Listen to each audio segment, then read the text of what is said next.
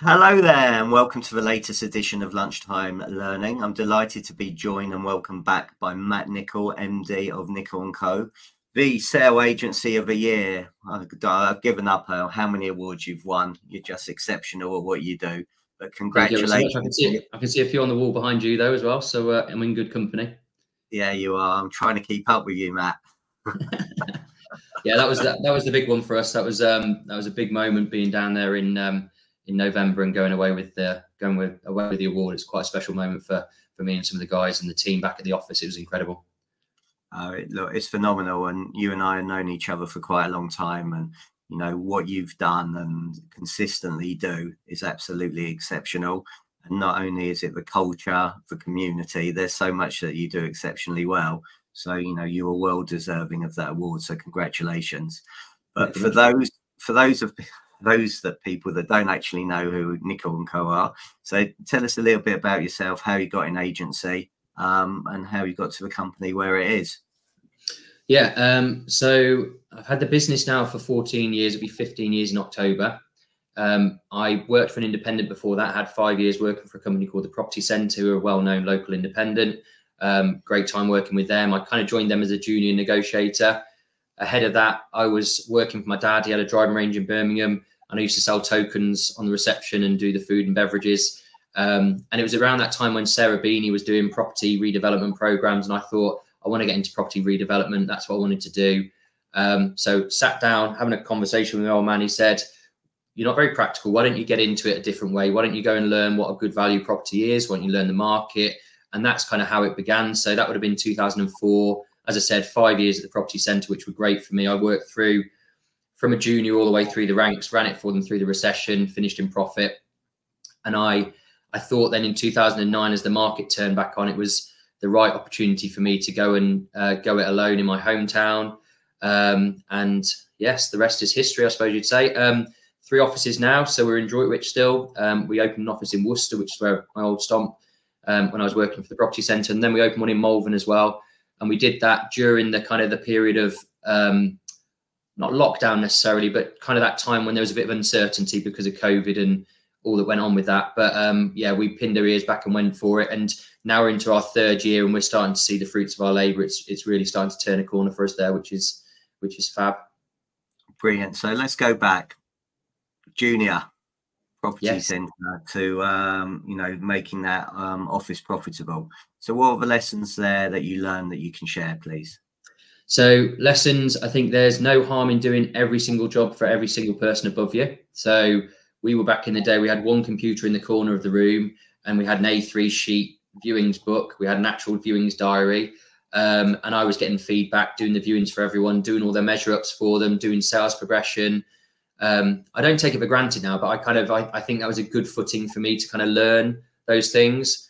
Um, actually, as I joined the company, within a couple of months, they decided to close an office. They had two offices in Worcester, which they've now gone back to having two offices, but they had two offices in Worcester, and they um, they closed their St John's office within literally three months of me opening. We joined, and I kind of thought, well, I'm last in. I'm going to be first to go, and um, I remember the director saying, "No, we've, we've we've seen what we need to from you. We know we're going to back you, and you'll be fine." So I stayed put. But um, I was often in first. I didn't do it for accolades or you know anything like that, but I just wanted to get set up. So I was in first, often last to leave.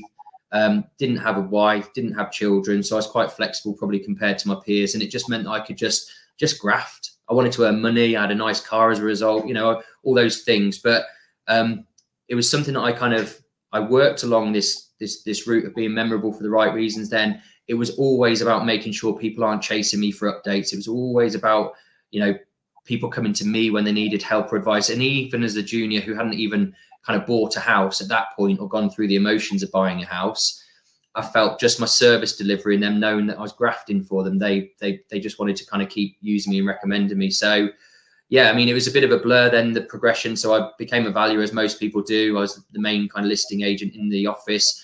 And I think in 2007, if the market was stronger, I probably would have gone then.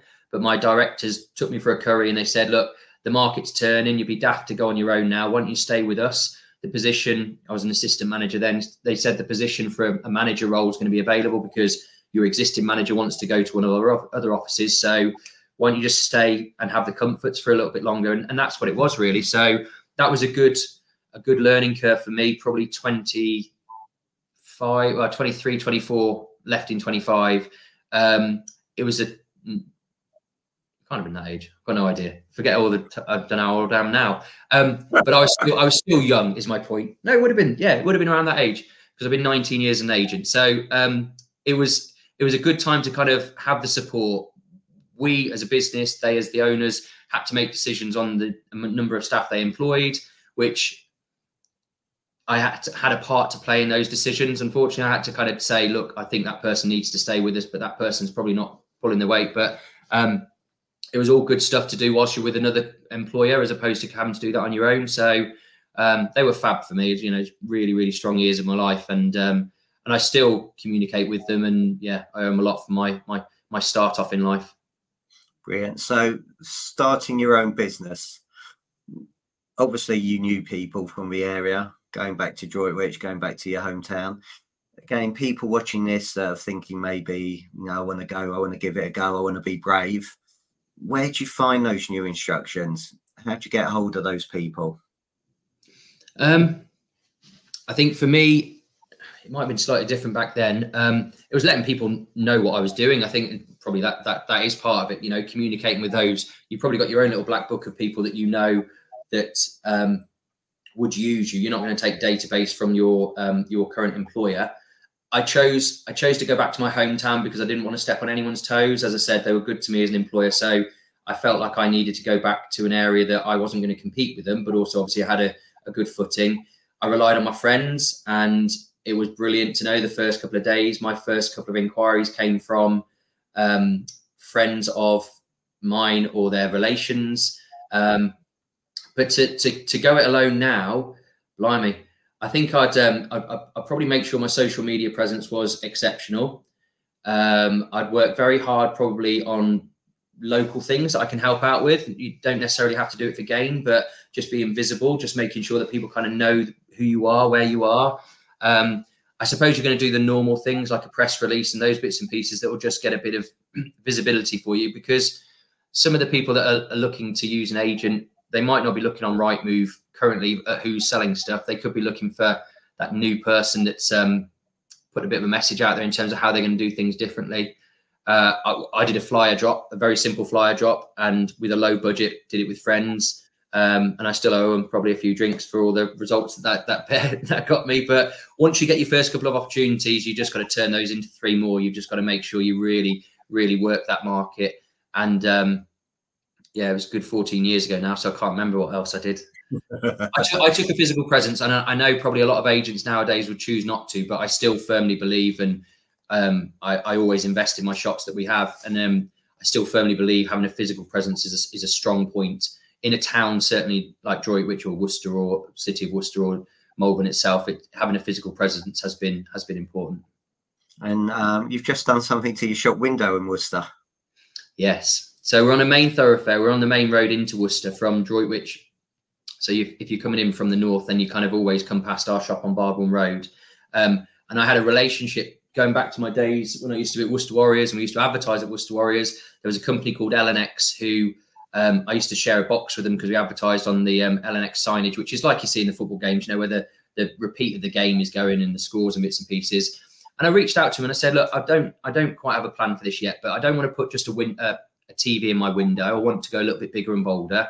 Is there anything you could do? And they said, come over and see us. They're based in Bromsgrove. And um, I could I could tell that I kind of I probably landed an idea in their head that they hadn't thought about as well. So I explained we we we spend a lot of money and we do a lot on our um, videography, on our marketing. We shoot lots of reels for our properties, and it seemed just a waste just to put it onto social media one week and then it you know might pop up again in an algorithm but that's really it so it's about having the opportunity to to show our clients stock a little bit more regularly and also show what we can do so yeah we've now got um, a screen it's essentially one and a half meters by one meter but we've had to trim it in slightly so that not cut anything off but just put some black um, leds down the side so that we actually we only have it to the format of what a phone shoots so um, 16 9 dimensions and that's so that they're perfectly square. You know, everything that we posted on social media is going on there properly. So it's it's gone down really well. I've actually got planned application on the go at the moment in Droitwich, so we're going to get one on the on the main main road heading out of Droitwich as well. So we'll we're hoping to repeat the same thing here in Droitwich. Um, and it'll give our give our clients great visibility. It'll be great, and you know, another conversation start for our staff. No doubt, get us through a few more doors. So yeah, it's a, it's a good good move. I think. I hope. Good. Okay, so coming back, so gone. You've gone from one office to two offices to three offices. So, what are the lessons that you've learned by um, going from one to three? Lessons I've learned. Um, I think it's important to keep your hand in. Um, so today I've had one-to-ones with managers, but I've also done some valuer training with another member of staff. Um, so I think keeping your hand in, being accessible. Um, don't rush. So the Malvern office, yes, we still did it during a kind of a time of flux, but we'd been looking for an office for about five years. So it kind of I don't think it was a, oh, maybe we should dip the toe. It was like I, I, was going to open an office in Malvern. The timing of what was going on in the world at the same time couldn't have stopped me because we'd found the location. Um, employ brilliant staff. Um, you, you, you do you, you do need to have that comfort. You do need to have people that are engaged. You know, you've got to make sure that they um, believe in your culture. They they trust and understand that you will be there for them, but also they need to sometimes do it on their own, and that might be tough conversations as well. Um, I think the hardest thing is being accessible. There's like 38 members of staff now, so I can't I can't be there with everyone all the time. But I've started doing a few different things. So I record a tip every morning. I do it on Loom and I send that out at eight o'clock. So when they go into their morning meeting, they've got an update of what's going on in the market or a, a daily nugget of advice. You know, and I think hopefully that kind of means that whilst I can't be with them physically all the time, I'm still having that little Matt Nicol influence on on on their days and and how things are working. Bearing in mind, a lot of my staff joined in the last two years, so they've kind of joined in a market that's like sell everything. You've got stamp duty incentives to really a tough market. I've kind of had to make sure that they understand that the norm is kind of what we've experienced in the last year as opposed to the year before. Um, and uh, yeah, that's that's been a bit of a challenge in its own right. But they, they are better for it. Obviously, they're, they're good staff learning in this market. So, okay, so culture. I mean, you mm. create a good culture there, and you know I can see all the time. And I think there was an announcement this morning about more promotions, and um, you see what you're you constantly doing there. How have you managed to create that culture? So, back in 2020, before we went into the first lockdown, I'd been reading the um, Traction book by Gino Wickman. Um, so we have the um, EOS basically is is the way that we run our business. Um, that's I think it's the entrepreneur's operating system, and that for me has been a big part of it. We do quarterly reviews, so we're regularly checking in with our staff and going through kind of where the north star is for us, what we're aiming for, what we're up to. Um, we also have a vision, which is memorable for the right reasons, as I've always already mentioned, and we've got values that we stick to. Um, I don't have the document, but this goes back to my point about employing great staff. We've got a manager, one of my managers um, over in the Worcester office, where his team have collectively come up with a document which is about their culture. Um, we were talking about rugby before we came on, and Sir Clive Woodward, who you mentioned, you know, teamship, that kind of the team buy-in. No point in me dictating what I want the culture to be in an office or in a department or in the business. It needs to be some kind of ownership from the staff. I think the staff feel like they can talk to me like it could be anything. It, it, it could be that they've got problems they need help with out, outside of work, but I'm I'm I'm an approachable young chap myself. You know, I say young. Um, I'm an approachable chap. I've, I've kind of got scar tissue, but I can I can help them um, with anything they need, basically. Um, and because we have values such as likable, dedicated, um, the likable is probably the most important one, if I'm honest with you, um, because you want to come into a place of work where you enjoy and you like working with the people around you. And and those that don't fit that bit they kind of stick out like a sore thumb and they and they don't tend to stay all that long so. Where do you find these brilliant people? Um i mean we've we've had a few through the typical kind of process of indeed we've actually scoured for cvs and we've found people that have put their cvs on and approached them sometimes some of them have come from the automotive industry. um, coming out of 2020, 21, there was a few local businesses that were, you know, making redundancies and bits and pieces.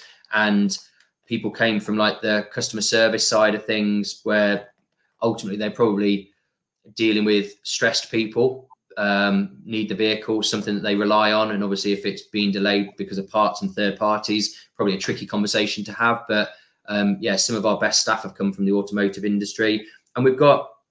If you look at our team, if you look at the about us section on our on our um, website, you'll see quite a young force. Really, we've got quite a young team, so trying to nurture mini Matt Nicols, probably just trying to bring him through the ranks and give him all that all the experience. Although now they have the benefits of things like sales progression members of staff, so they don't get to do all of it. But um, yeah, we try try and get them to to start at the bottom and work their way through. Okay, so I know one of the things um, you looked at, and I don't know if you're still doing it, but you had a retired solicitor going in, um, and I don't know whether that's still happening or not, um, helping filling in all the fixtures and fitting forms, property information forms, sellers information forms. So I'm sure your days on market are considerably less than anybody else in your area. They are. They are indeed. Yeah, we've had to adapt that process. Um, it couldn't have lasted forever. He's he's not very well, bless him. So we've had to kind of adapt how we can do that. But again, that goes back to that point about staff members being used to doing it because it's about the process. It's, it, it, it was better having someone sat with them going through the forms, but it's more about getting vendors to start thinking at the very beginning. I do need to instruct a solicitor now and I do need to get all that paperwork together because unfortunately, one of the reasons the transactions take so long is because it's a it's a daunting prospect. It's not a job that people enjoy and they put it off. So instructing solicitors and taking a few days once the sale's been agreed, it does it has a negative impact. Um, and we all know the quicker you can get a deal through, the more likely it is to to go through in terms of success. Um, and it's the biggest battle. But yeah, we're we're I think national average. You can probably tell me is it 140 odd days now. I would have thought nationally. We're, we're, we're sub 100. Um, it still feels like too long to me, but we are we are sub 100, and um, the the challenge is that we want to try and get it down to 85 days by the end of the year. I'm not too ambitious. I don't set ridiculous tasks. We do a lot of volume here, so um, yeah, my my ambitions for the team for all departments, you know, to to experience that kind of speed of transaction, get it down to 85 days if we can. Okay, you spoke about marketing before. Um, so, what sort of things have you seen change in the marketing aspect over the years of the property? Um, well, I, th- I, think there's more more changes happening now, but I, I, think the best way to sell a house is still as soon as you've got that signed contract, phone your buyers. I think that's still the best way because if a if a buyer hears your excited voice on the phone, plugging it to them, then that's gonna that's gonna really help. I want to investigate. Go off on a tangent, but I want to investigate these groups you can now set up on Instagram because it allows you to essentially and I've got a few American real estate agent friends and they're doing it already. Like it allows you to release stock through this kind of this this group really just to um, wet the whistle of those buyers that have chose to be in that. Um, so I, I, I expect that that might have a part to play. The tricky thing is when you're trying to produce amazing reels and things like that, you can't do them quickly. There's no there's no way of getting them turned around within a day. So I think the best form of marketing is still knowing your database and phoning your buyers as soon as you can. Um, speaking to your parties that have got property to sell so they feel like they're getting a really good um, service from you because if they're going to sell theirs, they're going to want to use you if you can find them something that's suitable. Um, portals are portals. Let's be honest, you have to pop them up on there, but really should have the buyers lining up before they even get to the portals. And our and our reels and those those productions that we're doing, I think that's more for the company's visibility than anything else. It just shows people what we can do. Um, we are properties that have been on the market for some time. We are getting inquiries off properties that essentially gone through the normal routes, the right moves and stuff, and didn't get the, the right inquiry. So it does it does lead to some um, opportunities, but it's it's it's not a banker to get you viewing. So Okay. Good old fashioned get on the phone. That's the way to do it. I couldn't agree more. Make it your best friend. So you talked about um, communication, and obviously you talked about market's very different to how it was in COVID. So um, how have you managed to train installing that to your colleagues about that they have to speak to people now, they have to pick up the phone, they have to make it happen? Yeah, I mean, I I, I really do not crack record, but I really do hammer home the urgency because buyers can get distracted now with new instructions and bits and pieces. So you've really got to be and it's it's just an attitude change, really. I think we were probably all quite quite happy with being able to send them the details, and then they'll call you back. But but but now it's like, look, I don't want to send you the details. I've got another three people that are going to go and view it. Come and see it with me now. Um, we, are fortunate with our office locations. We always kind of planned them so people weren't parking around the corner in NCPs where they'd be worrying about um, getting the car out and all those bits and pieces. We wanted to make it so convenient and easy they could just jump in the car and go. Um, so I think I, I, think that kind of urgency across the phone needs to be there. Um, we were doing live streams. You probably will remember we were doing live streams um, during that time when you had 20 or 30 people wanting to view a house. We've had to adapt that now. You don't have that kind of that many people trying to view houses. So we've gone back to trying to be available for the client at their their right time scale.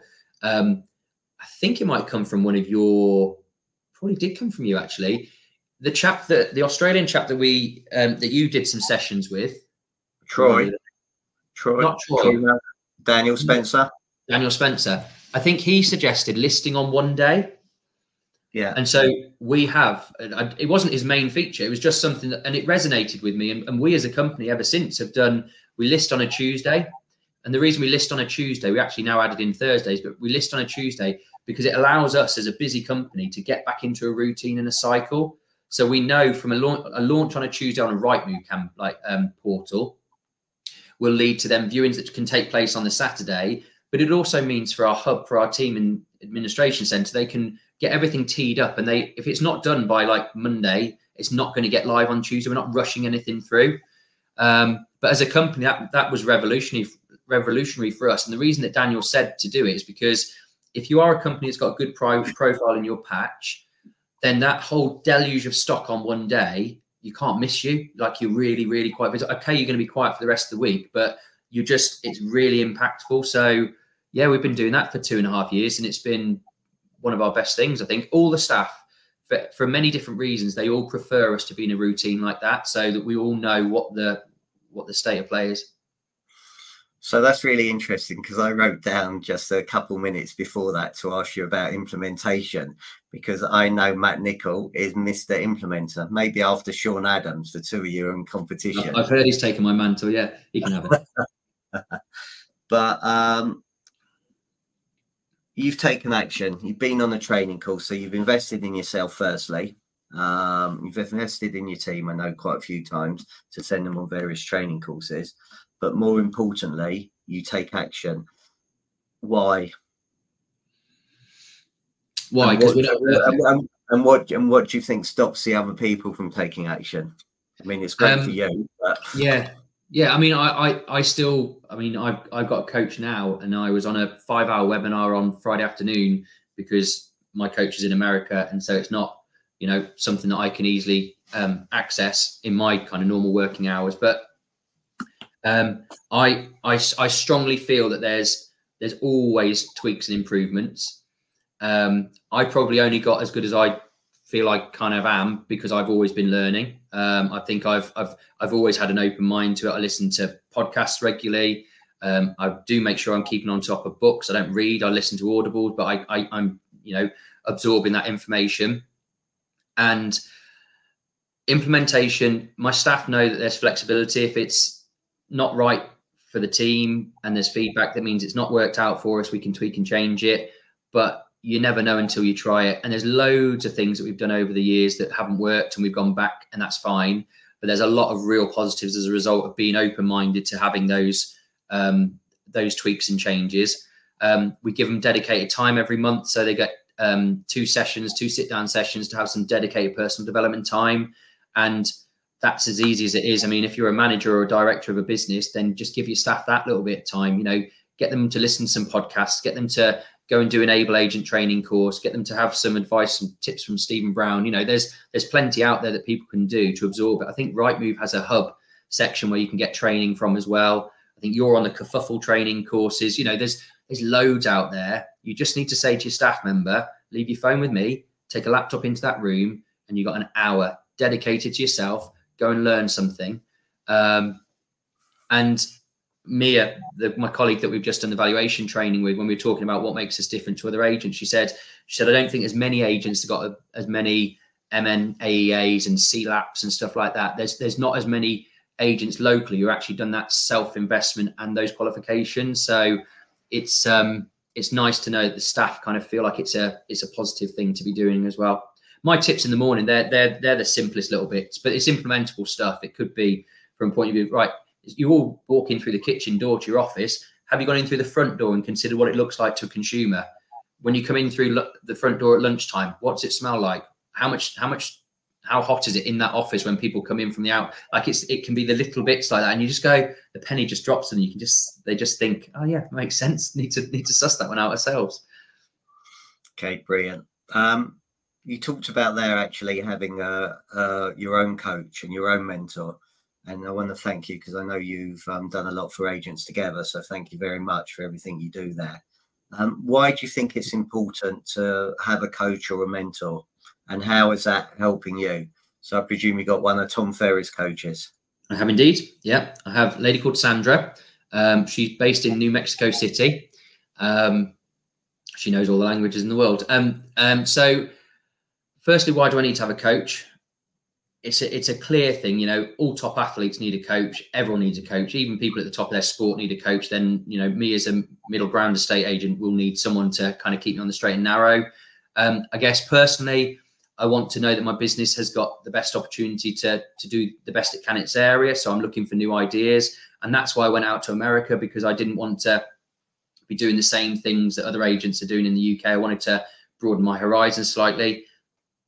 Obviously, their process and their market's different to ours. Timescale for their sales blows your mind. The fees they charge blows your mind. But at least it kind of gives you a few new ideas and different perspective on things. But also, it's that accountability. It's about that kind of I've met her once physically, and I'm going back over in February. But um, she she really is in my corner, but also pushing back on me as well. So a lot of people that I kind of work with will kind of never really question what I've done or push back on what I've done, whereas she can, and that's really what I want. I don't I don't want a yes sir, no sir, and like, I, I, I want someone who's going to go, yeah, but why are you saying it that way? What what does that actually mean? So um, I do feel having that coach it keeps me on my toes, probably for want of a better word. Good. Um, couple of final questions, if that's okay with you. Sure.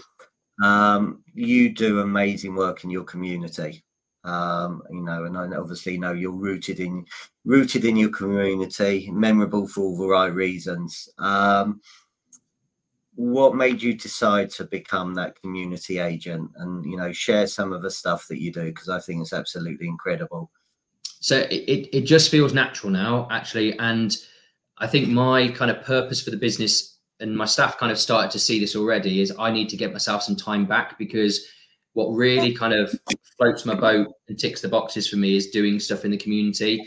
I'm not I'm not out valuing anymore. Obviously, I support and I consult on those bits and pieces, but but I I get I get a buzz out of doing something in our local area. So I'm now um, chairman of a thing called the Place Board, um, the Place Board is a group. Um, it's like an advisory panel to the district council that's local to us. So um, we have UK Shared Prosperity Fund um, money that we can use, and we are to spend. We had two hundred thousand pounds at the beginning of last year. I got bought in about eight months ago. Um, but the point for us is that we do advise Wychavon District Council on where our Droitwich Town Centre and the area could be developed. And there was a prospectus that listed everything that we've got as assets and things that we can we could work with. Um, and I thoroughly enjoy it. It's not a paid job, and that's the funny thing. I get more reward out of that than I do anything really at the moment because I can see positive impact. We've had Christmas lights that we've organised on the high street. We've got a plan for a health corridor, which will be taking a long stretch along the canal towpath in Droitwich. And I'm I'm walking that stretch a number of times with different people that are quoting for the work, and I'm meeting with parish councils but I just thoroughly enjoy it. And look, there's there's no doubt it'll probably be good for the business in some way, shape, or form at some point, but it's never going to be the driving force. Um, one of your um, nephews and myself, we we have a plan for an Easter egg trail that we do at Droitwich cricket pitch, and that's always a very very positive experience. We did the big Worcestershire Garage sale last year, which we'll be doing again this year, and that's getting planned in at the moment. Um, and then we've also got a community fund that we donate £100 of our um, fee upon completion to the choice of the vendor, basically. So if they choose a their school that their son goes to, or a charity or community project, whatever it needs to be, we give a hundred pounds back to it. So I, I I take I take a lot of enjoyment out of that. That's kind of where I am now, and I and I want the business, if I'm honest with you, to flourish without me. I need it to be able to work without me being around. I know I need to be involved still, but I, I want it to work without me because at 40 years now and going up, I, I want to kind of go, right, what can I do in my hometown that's going to really benefit and the community? You know, Worcester and Malvern, there's some cracking little opportunities there that we could help out with as well. So, um, yeah, I get quite passionate about the community bit. That's that's that's my bag now. That's where I want to be. Okay, well, it's amazing, and you know you've been doing it for years. It's not just a one-off.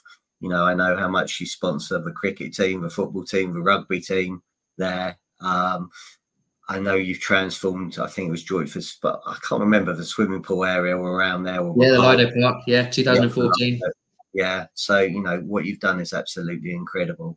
So you should be incredibly proud, and I'm sure everybody in Droitwich um, appreciates exactly what you do. It's amazing. It's well done, you.